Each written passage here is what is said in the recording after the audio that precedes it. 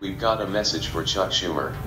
And all Democratic senators. We need you to protect our health care.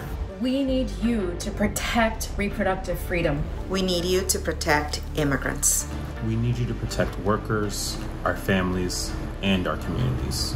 We need you to stand up and fight. You have a responsibility to do everything in your power to stop this corrupt, weak president from nominating a Supreme Court justice. Here's what you should be doing right now you should be pulling together a war team of experts, a brain trust that can be fighting moment to moment, looking for every opportunity to gum up the works, to delay, disrupt and delegitimize this process. You should be publicly committing to using every procedural tool to stop this nomination.